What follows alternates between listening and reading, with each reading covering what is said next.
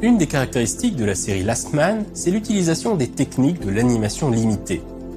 Le dessin animé est un art coûteux. Pour parfaitement animer un seul personnage pendant une minute, l'animateur devra produire 24 dessins par seconde, multipliés par 60 secondes, soit 1440 dessins pour un seul personnage pendant une seule minute. Évidemment, on a rarement besoin d'autant de dessins, et il est possible de donner l'illusion d'un mouvement fluide avec seulement 12 images par seconde plutôt que 24. En réalité, seules quelques séquences importantes sont vraiment animées à 24 images secondes. À partir de 12 images par seconde, on considère qu'un dessin animé propose une animation complète, full animation en anglais. Tandis que les animateurs des studios Walt Disney mettaient un point d'honneur à proposer des œuvres en full animation, d'autres studios ont très rapidement cherché des techniques pour produire des dessins animés plus rapidement et pour moins cher. Dès les années 20, il était courant de réutiliser des séquences en utilisant divers artifices pour que les spectateurs ne s'en rendent pas trop compte, par exemple en repassant une séquence en miroir. Mais ces astuces n'étaient pas suffisantes. Il a fallu chercher d'autres techniques pour faire des économies. Le mouvement d'un personnage est découpé en images clés, qui représentent les étapes les plus importantes de l'animation. Les images entre deux images clés sont appelées les intervalles.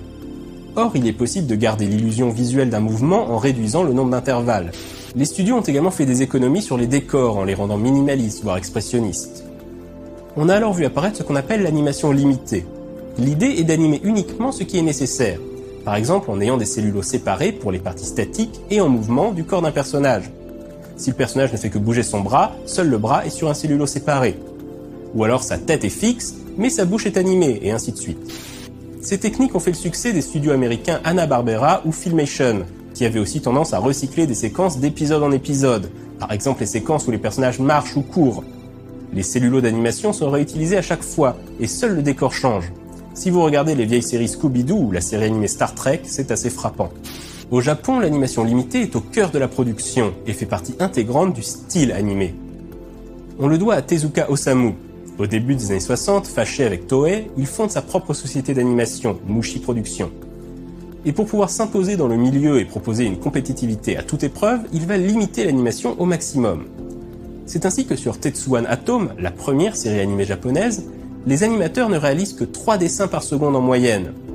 Ils multiplient également les astuces comme celles mentionnées plus tôt, mais aussi des plans fixes avec des personnages de dos qu'on entend discuter sans voir leur visage, des cellulos d'effets spéciaux séparés et réutilisés sur plusieurs scènes, une multiplication des plans courts afin que le spectateur n'ait pas trop le temps de réaliser que l'animation est saccadée. Tezuka lui-même appelait ce style manga en mouvement, car il était basé sur son expérience en tant que dessinateur de bande dessinée.